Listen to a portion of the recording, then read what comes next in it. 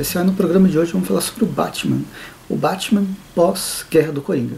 Na verdade, pós-destruição geral, que teve a Guerra do Coringa, antes teve o Bane destruindo tudo. O renascimento do Batman, digamos que foi a destruição completa da cidade dele, mas eu trouxe isso tudo pelos números 51, 52 e 53. Eu acho que eu vou até parar, na verdade, de é, colecionar o Batman, que eu tô achando mais ou menos. Assim, ele, eu vou comentar um pouco sobre essas três revistas e elas trazem basicamente a mensal ou a quinzenal nos Estados Unidos né, de Batman e a quinzenal de Detective Comics. Além disso, tem várias, várias pequenas revistas, pequenas historinhas de títulos diversos, seja o New, New Year's Evil, ou aqui a gente tem é, também New Year's Evil, e o Batman Secret Files. São historinhas, essas menores, elas conseguem ser mais agradáveis do que as histórias maiores. Não por serem necessariamente ruins, mas porque, assim, não, não tem nenhum atrativo. Os dois grandes roteiristas que a gente tem é no Batman, o James Tynion IV, e no Detective Comics, o Peter Tomasi. O Peter Tomasi é muito melhor, ou as histórias dele estão muito mais legais do que o do, do James Tynion IV mas o que não me agradou é que para mim é mais do mesmo. Bem, vou exemplificar isso mostrando um pouco as histórias. Começando com Batman, a gente tem uma primeira edição que funciona quase como um epílogo da história do, da Guerra do Coringa, que vai ver, vai mostrar qual vai ser a nova situação do Bruce Wayne depois que ele perdeu os bilhões e agora, coitado, ele é apenas um milionário. Mas milhões não são suficientes para suportar todo o gasto que ele tem como Batman. Então, essa primeira edição, eu acho que é mais interessante porque faz o epílogo da saga anterior. Ela vai mostrar que o Bruce Wayne agora ele vai precisar pegar um pouco mais leve no quesito tecnológico, talvez voltar às origens, sendo mais detetive, pelo menos aponta para isso. Não sei se necessariamente os roteiristas vão conseguir desenvolver desse lado. Outra coisa que ele coloca são vai, três elementos. A mulher gato, ela, ela e o Bruce Wayne eles estão separados por um tempo até que a mulher gato consiga se consiga se organizar. O Bruce não vai desistir de ser o Batman, então eles não podem fugir para uma ilha e viverem juntos para o resto da vida. Então a mulher gato tem que evitar de ser de se tornar um alvo. Então, beleza. Vamos lá, deixa ela com uma mensal dela que eu estou gostando, estou esperando os próximos números, é, ela eu vou continuar comprando. De outro lado, a gente tem outros dois vilões. Esse esse carinha aqui, que é um matador de palhaços, que é um adolescente com um tacape e um batarangue no tacape, que ele mata qualquer seguidor do Coringa. E o outro é o, é o fazedor de fantasmas. É esse aqui que está nessa capa, numa das capas é, extras, lá do, dos Estados Unidos. E esse cara foi criado pelo James Tynion IV e as primeiras e, e, todo esse arco que a gente tem de introdução, né? Essas são as edições 101 a 105. Mas na verdade a 101 é aquele epílogo, então da 102, 103, 104, 105, essas quatro edições, elas vão mostrar a batalha do Batman contra o Fazedor de Fantasmas. Esse Fazedor de Fantasmas é uma versão do Batman, de certa forma. É um carinha que treinou com Batman quando com Bruce Wayne antes de ser Batman, quando ele ainda era adolescente, naqueles vários treinamentos pelo mundo. Eles se encontraram várias vezes, virar, viraram amigos e rivais, e aqui eles se reencontram. A grande diferença é que ele mata geral. Ele, nesses últimos 20, 30 anos de Batman, o Fazedor de Fantasmas, ele ia para determinadas cidades geralmente no leste europeu, e fazia limpa geral.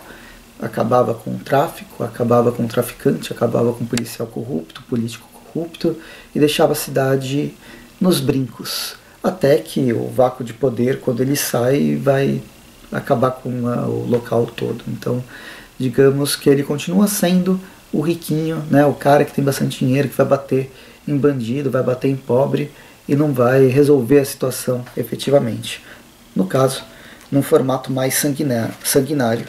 E aí ele coloca o Batman numa situação impossível, onde ele tem que tentar fugir ou tentar sair sem que ele mate ninguém e sem que as pessoas envolvidas matem alguém. No meio disso, a gente tem a participação especial de alguns dos é, da família do, do morcego, em especial a Oráculo, que está repensando se ela vai continuar sendo Batgirl ou não, já que outros personagens eles fazem esse papel muito bem e o mundo precisa de um oráculo, ainda mais com o Batman sem toda a sua tecnologia. Aqui ó, uma cena dele adolescente, dele jovem adulto, cruzando o mundo, batendo em pessoas. Outro personagem que aparece bastante e aqui vai ter um, um papel mais importante é a Arlequina, mais para as últimas edições. E ela faz um papel, papel dela, na verdade, de psicóloga e palhaça. E ela faz o papel muito bem. A Arlequina está se transformando numa personagem bem interessante, já faz um tempo. É que geralmente as revistas dela elas são voltadas para um outro público que não sou eu e eu acabo não gostando. Muito mais psicodélico no sentido Deadpool. E eu também não gosto do Deadpool. Então eu acabo não indo atrás. Mas o background que estão criando de personagem que sempre sofreu abuso e está se reerguendo, está se bem, está se reconstruindo, eu acho bem, bem interessante. E aqui é um pouco trabalhado isso, pelo menos sugerido esse, esse lance. O problema é que a história vai se desenvolvendo e termina com esse fazedor de fantasmas sendo basicamente o parceiro não mirim do Batman. Eu achei é, meio bobo a, a premissa, meio que qualquer coisa. Como porta de entrada, como para alguém que nunca leu o Batman e gosta, quer tentar começar a ler quadrinhos do personagem, pegar pela edição 51, a partir da edição 51, é perfeito. Acho que esse o James Tynion IV tem um, um roteiro que para mim já não responde às minhas expectativas, mas ele tem um roteiro legal que vai agradar quem, quem não está acostumado com essa leitura, que não, já leu milhões e milhões de revistas do Batman e sabe para onde que vai todas as suas histórias. Bem, de outro lado, a gente tem o Peter Tomasi fazendo Detective Comics. E eu acho que as, as histórias dele estão mais interessantes. Ele tem um roteiro mais apurado. São também cinco edições, né, da edição número 1028 até a edição 1031. E aqui cada uma das, das edições vão ter uma história, mais ou menos uma história fechada, e são consequências da Guerra do Coringa, em especial o pessoal está de saco cheio de mascarado na cidade de Gotham, então cria-se um grupo, né, a cidade cria, começa a se dividir entre o pessoal que apoia o Batman e as pessoas que não gostam do Batman. Entre eles, a gente tem um, um personagem que é um ex-policial que sofreu, foi afastado do cargo depois da Guerra do Coringa porque ele perdeu o olho, quase que morre, e, bem, ele vai virar o prefeito, ou pelo menos vai se candidatar a prefeito. E tem um vilão, que é um cara que parece que foi inspirado. Vamos ver se ele, ele aparece mais para as edições mais avançadas. É um cara que tem uma roupa. É o um mascarado, contra mascarados, e ele fala que depois que terminar tudo, eu tiro minha máscara, mas o, o eu quero servir de exemplo para ser alguém não mascarado. E como ele veste uma roupa toda espelhada e as pessoas se veem nele como se ele fosse qualquer um. Essa ideia, eu sei que não cola, desde o início não cola, e provavelmente é algum vilão até conhecido que está por trás de tudo. E ele é, se chama o espelho. Basicamente o espelho lembra um pouco, ou pelo menos o, a forma que ele veste o capuz espelhado, não lembro se era um dos personagens ou todos os policiais da série do Watchmen, que tinha essa, essa ideia também do, de um capuz espelhado, onde as pessoas se viam né, no, no policial. O policial não existia, ele era só uma representação da própria sociedade.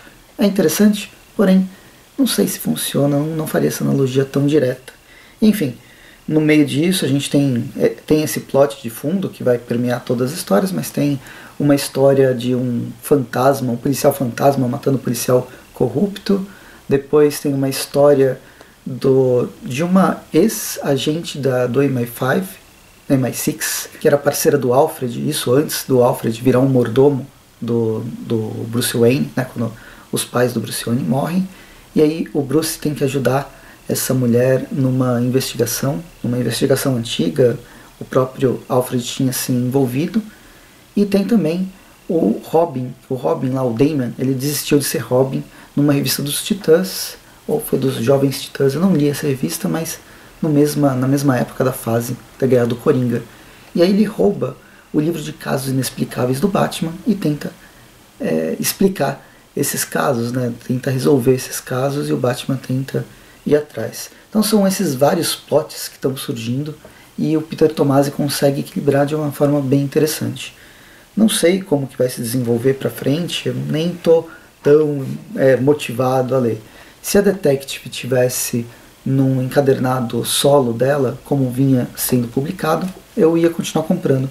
Mas dentro da Batman, não me chama tanto atenção, até porque Batman já Detective é legal, mas não tão legal para eu gastar 20 reais por mês. E o Batman, para mim, não está agradando.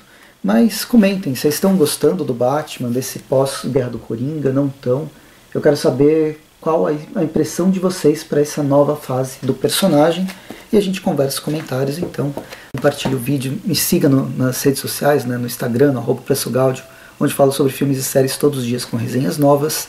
Tem pelo Spotify ou pelo Anchor Radio ou qualquer agregador, tem o Fortaleza Quântica, que é um programa onde eu e uns amigos meus, mas principalmente o Rafael do Multiverso 38, a gente conversa sobre filmes, séries, quadrinhos, faz entrevistas com editores, artistas, roteiristas e várias pessoas assim, que são programas bem divertidos, bem divertidos de gravar, pelo menos.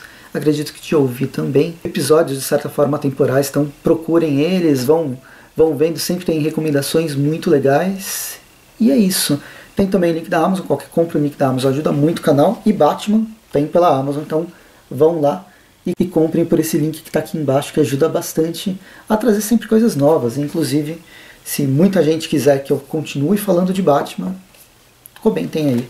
Mas pelo número de views que tem os vídeos do Batman, não é tão, tão popular. Pelo menos entre o pessoal que assiste os meus vídeos aqui no canal.